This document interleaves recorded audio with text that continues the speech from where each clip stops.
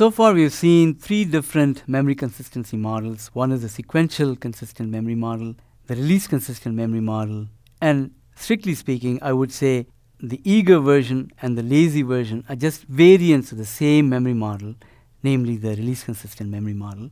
And now we're going to transition and talk about software distributed shared memory and how these memory models come into play in building software distributed shared memory.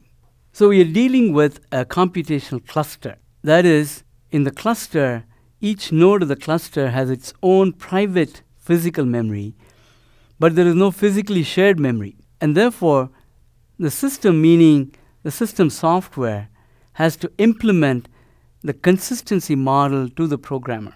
In a tightly coupled multiprocessor, coherence is maintained at individual memory access level by the hardware. Unfortunately, that fine grain of maintaining coherence at individual memory access level will lead to too much overhead in a cluster. Why? Because on every load or store instruction that is happening on any one of these processors, the system software has to butt in and implement the coherence action in software through the entire cluster. And this is simply infeasible. So, what do we do to implement software distributed shared memory? So, first thought is to implement this sharing and coherence maintenance at the level of pages. So, the granularity of coherence maintenance is at the level of a page. Now, even in a simple processor or in a true multiprocessor, the unit of coherence maintenance is not simply a single word that a processor is doing a load or a store on because in order to exploit spatial locality, the block size used in caches in processors tend to be bigger than the granularity of memory access that is possible from individual instructions in the processor. So we are taking this up a level and saying if we're going to do it all in software, let's keep the granularity of coherence maintenance to be an entire page. And we're going to maintain the coherence of the distributed shared memory in software by cooperating with the operating system that is running on every node of the processor.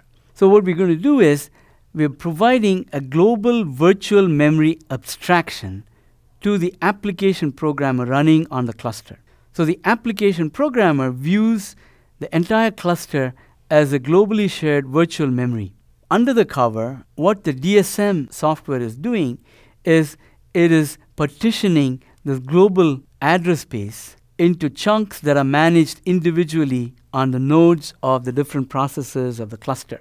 From the application point of view, what this global virtual memory abstraction is giving is address equivalence, and that is if I access a memory location X in my program, that means exactly the same thing whether I access that memory location X from processor 1 or processor 2 and so on and so forth.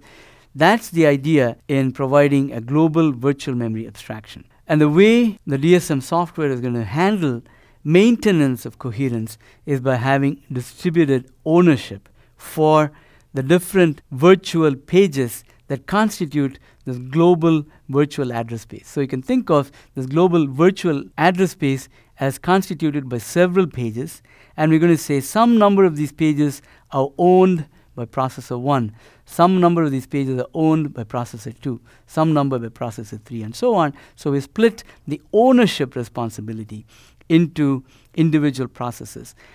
Now, what that means is that the owner of a particular page is also responsible for keeping complete coherence information for that particular page and taking the coherence actions commensurate with that page. And the local physical memories available in each one of these processors is being used for hosting portions of the global virtual memory space in the individual processors commensurate with the access pattern that is being displayed by the application on the different processors. So for instance, if processor 1 accesses this portion of the global virtual memory space, then this portion of the address space is mapped into the local physical memory of this processor so that the thread that is running on this processor can access this portion of the global address space. And it might be that same page is being shared with some other processor n over here. In that case, a copy of this page is existing in both this processor as well as this processor. Now it is up to the processor that is responsible for the ownership of this particular page to worry about the consistency of this page that is now resident in multiple locations. For instance, if this node, let's say, is the owner for this page, then this node will have metadata that indicates that this particular page is currently shared by both P1 and Pn. So that is the directory that is associated with the portion of the global virtual memory space that is being owned and managed by this particular processor. So statically, we're making an association between a portion of the address space and the owner for that portion of the address space in terms of coherence maintenance for that portion of the global virtual memory space.